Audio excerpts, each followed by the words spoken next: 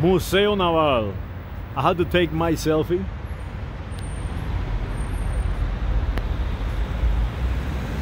Saludos.